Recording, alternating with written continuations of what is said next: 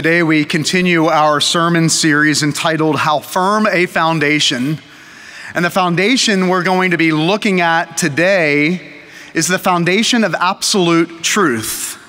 The whole goal of this series is to pursue what we call a biblical worldview, simply a lens, a framework by which we are able to view all of life, but a framework or a lens that is grounded and informed by the infallible Word of God.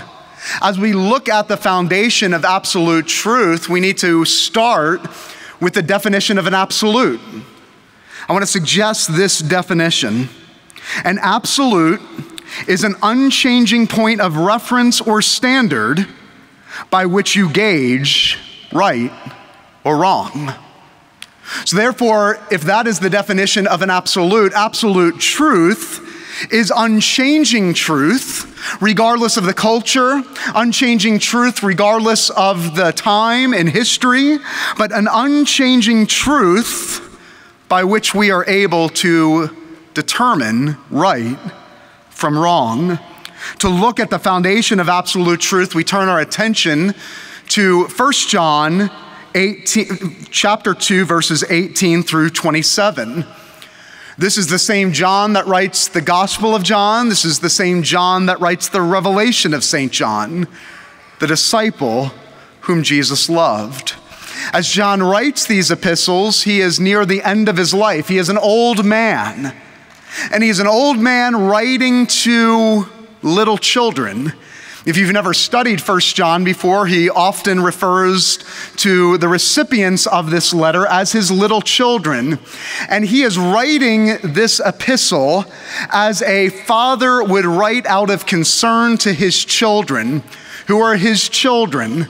They are his spiritual children that are being led astray by the false teaching that is besetting the church in Asia Minor and just as a father would have concern for his children being swayed away from the true faith, he writes to them so that they might be certain and they might hold fast to the faithfulness of God and the truth of his word.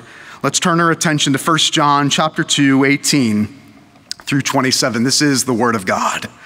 Children, it is the last hour. And as you have heard that Antichrist is coming, so now many Antichrists have come. Therefore, we know that it is the last hour. They went out from us, but they were not of us. For if they had been of us, they would have continued with us, but they went out that it might become plain that they're not of us. But you've been anointed by the Holy Spirit, by the Holy One and you have all knowledge. I write to you not because you do not know the truth, but because you know it, and because no lie is of the truth. Who is the liar? But he who denies Jesus is the Christ. This is the Antichrist, he who denies the Father and the Son. You see what John is doing? He's linking Father and Son together, that you cannot believe in God, the Father, without believing in God, the Son. You can't say, I believe in God, but I reject Jesus Christ. The brilliance of John. Verse 24, let what you heard from the beginning abide in you. If what you heard from the beginning abides in you, then you too will abide in the Son and in the Father. And this is the promise that he who that he made to us eternal life. I write these things to you about those who are trying to deceive you, but the anointing that you receive from him abides in you, and you have no need that anyone should teach you. But as to his anointing teaches you about everything and is true and is no lie, just as it has taught you. Abide in him, and the grass withers and the flower fades, but the word of God, his source of absolute truth, endures forever. Amen. It's no surprise to anyone here today or listening at home that we are living in a time and experiencing the most rapid change in the history of the world. Things are moving at such a rapid pace, it leaves us to wonder is there anything that is true today? Will it be true tomorrow? Is what is true this morning, will it be true a thousand years from now? Our culture says this what's true for you doesn't have to be true for me. We can coexist. The culture loves the word coexist. We can coexist in a world where you define what is true. That we can believe in polar opposite truths and they can still be true, both be true at the same time. After all, truth is relative, truth is subjective. But Jesus says, I beg to differ. He said, My word is truth, and his word is unchanging. He says, If you abide in my word, which is true, then you are my disciple, and you will know the truth, and that truth will set you free. I want to ask you this morning do you know this truth? The absolute truth of an absolute God. And has it set you free this morning? Three things I want us to look at briefly concerning absolute truth the reality of absolute truth, the suppression of absolute truth, and the perseverance of absolute truth. First John, we look and we see the reality of absolute truth. There is such a thing in a culture that says all truth is relative, there is such a thing as absolute truth. That's why Jesus is able to say, I am the way and the truth and the life. He's able to say, Father, sanctify them in the truth. In the passage that we read in verse 21, he says, I write these things to you not because you don't know the truth, but because you know it because you have it. Notice John doesn't say uh, the truth is in the eye of the beholder. He doesn't say that truth is up to you to define whether it is true or not. He doesn't say it's true because you believe it or because it works in your system of thought. He says truth is not dependent upon you. There is a truth and you have received it. There is a truth and you know it. You see, the Bible teaches that ultimate absolute truth is not dependent upon you. It's not true because you like it, it's not true because you believe it, it is totally separate from you. And what the Bible teaches us is that truth does not conform to you, but that you conform to the truth, where there is a price to be paid. You might say, I've heard of the law of gravity, but when in an airplane, I am going to open the door and just jump out and see what happens. There will be a price to be paid. I could look at that wall and say, I know it's a wall, but I'm going to run right through it. There will be a price to be paid. You see, none of us are foolish enough to believe that all truth is simply relative or subjective or up to us to define whether it is true or not.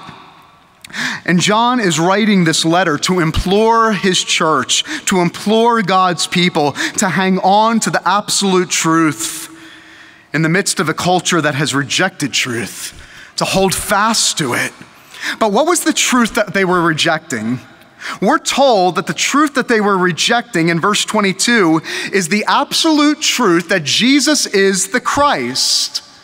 Why is this foundational to John and ultimately foundational to us this morning? What is so significant about the absolute truth that Jesus is the Christ? Well, Christians for 2,000 years have been making this claim. And this is the reality of that claim that if Jesus is the Christ, then he must be divine. And if the divine is absolute, then Jesus is absolute. And everything that flows from Jesus is absolute. This is why this has been one of the cardinal truths and cardinal tenets of the Christian worldview. You deny that Jesus is the Christ, and Christianity falls apart. And this was the foundational truth that Jesus is absolute, that Jesus is the author, source, determiner, arbiter, ultimate standard, and final judge of all truth. And so, whatever flows from Jesus is absolute. Therefore, we don't have the option to say things like, I'm a Christian, but.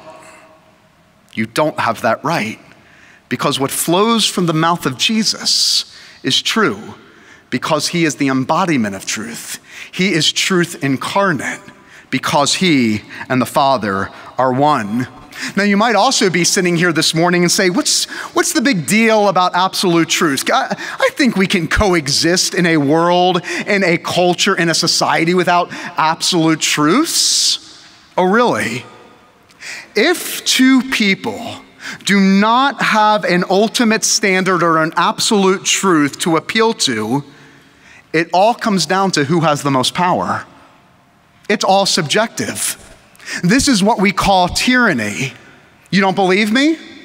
Just ask those that have lived under the atheistic communist regimes of the Soviet Union and China that has murdered over 100 million people in the last century.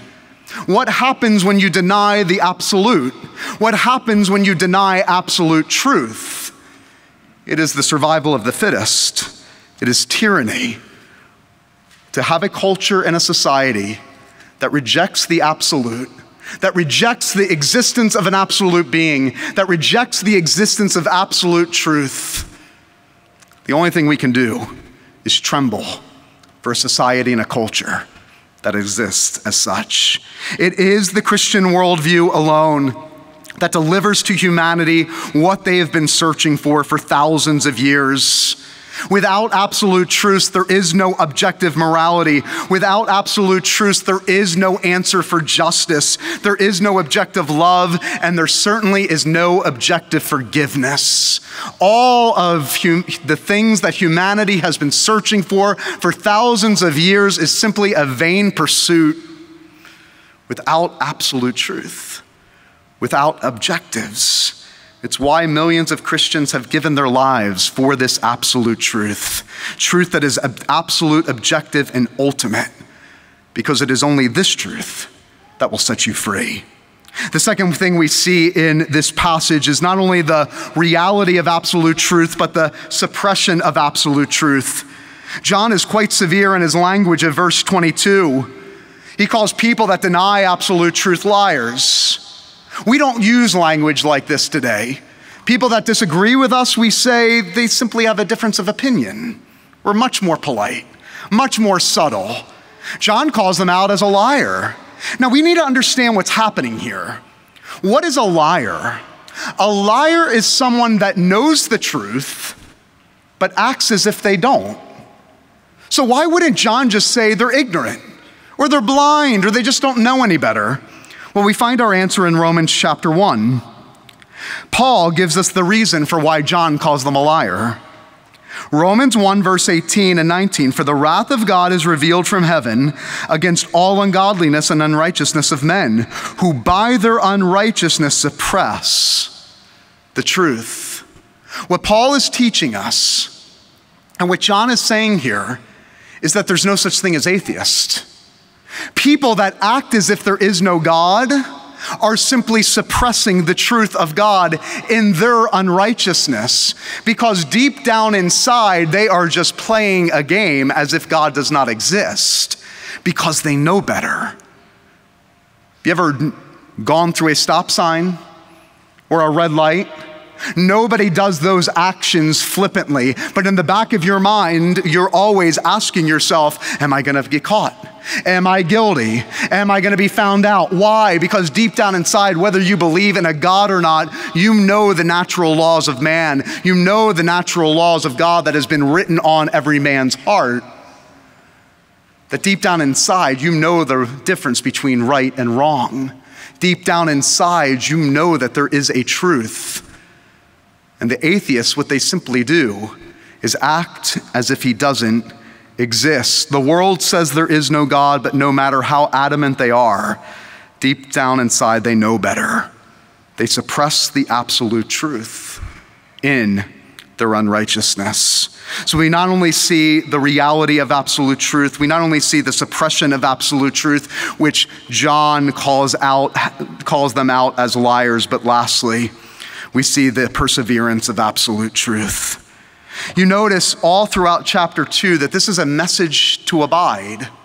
He's calling his children to hold fast, to persevere to the end. And what John is calling them to, he's reminding them that the only way you can persevere in this weird, wild world, this world of confusion and chaos, is to cling to the truth. For if the truth is absolute, then those that abide in that absolute truth will abide and persevere to the end. The only way we can persevere and abide is to know and to cling to that truth. I don't think it's any surprise to anyone listening to this message this morning being a Christian is hard. Being a parent seems impossible at times, particularly in this cultural moment.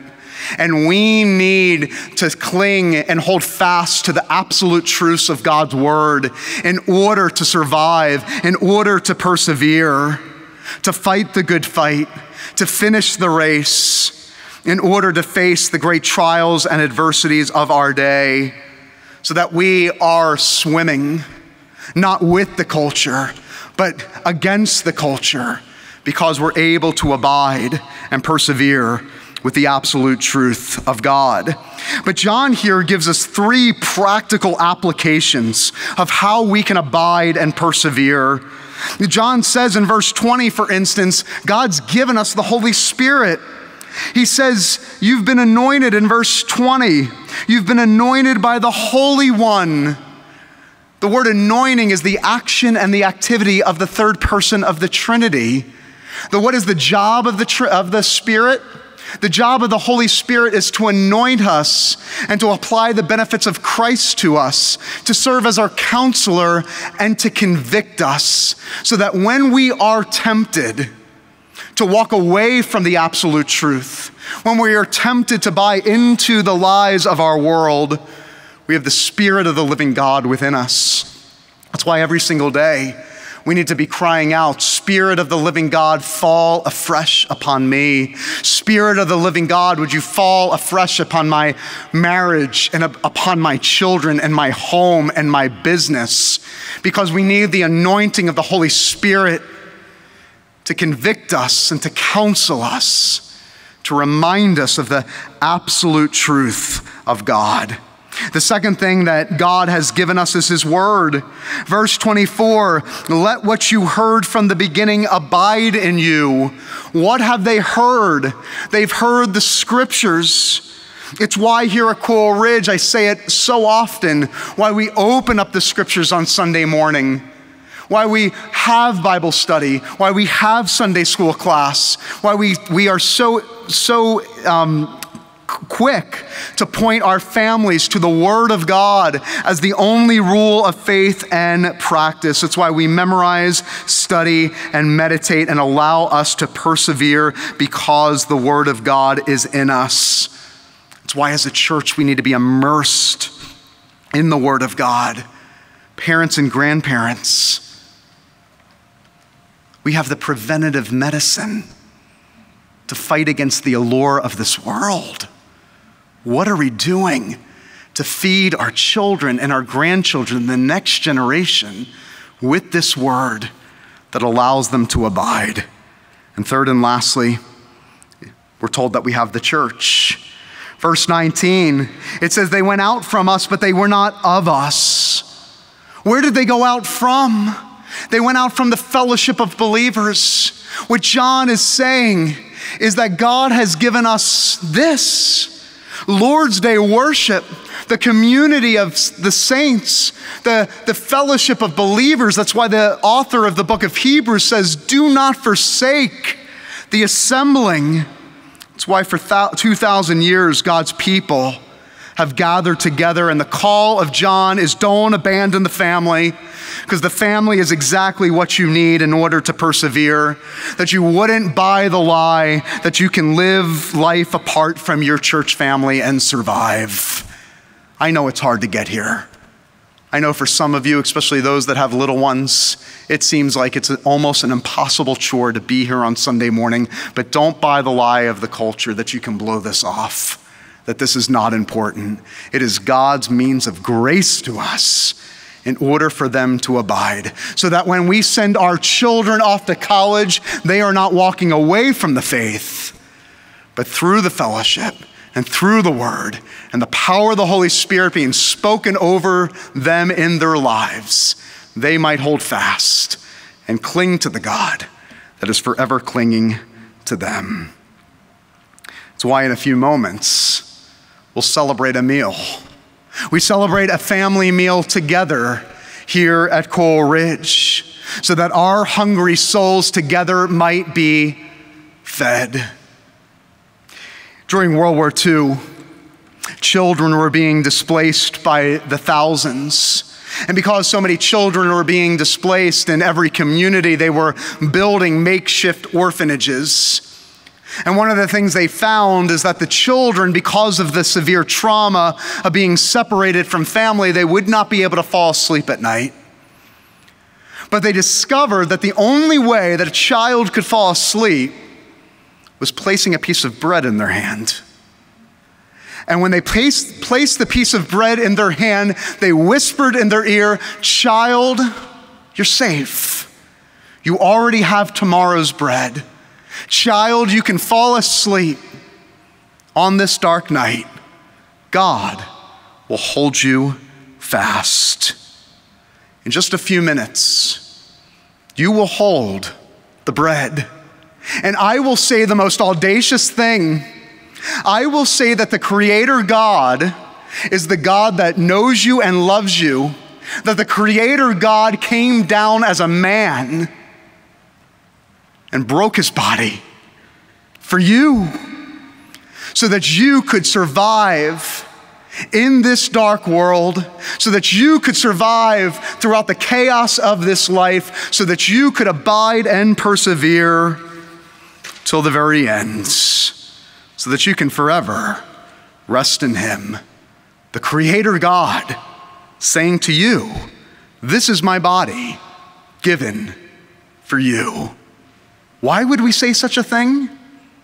Because it's the truth, and the truth will set you free. Let's pray. Our Father and our God, Lord, I pray that the absolute, unchanging, objective truth of God would be the very thing that set us free. That, Lord, we wouldn't look to the philosophies and the ways of this world to find freedom and to find hope. There is no hope in the subjective thoughts, in the relative truths that are developed by this world. But we need an absolute truth that gives us a firm foundation in a world that is constantly changing, in a culture that's constantly moving. We need something that never changes. We need something that is forever stable and steady. It is Jesus Christ, the rock. May our lives be grounded by this rock, the only firm foundation, an absolute truth, a standard of truth that will be forever, that we can bank our lives on and set us free forever. If there's someone here this morning or someone watching at home that has never encountered this Jesus, maybe they've lived their lives suppressing the truth, trying to act as if this God does not exist. Lord, I pray that the hound of heaven would bring them home right now. Open their eyes and soften their hearts so that they would no longer suppress this truth, but receive the truth that became a man Jesus Christ, who says, I am the way, and I am the truth, and I am the life. No one can get to the Father but through me. May they be saved and rescued and have real hope and experience real forgiveness for the first time forevermore. We pray all these things in the name of Christ. Amen.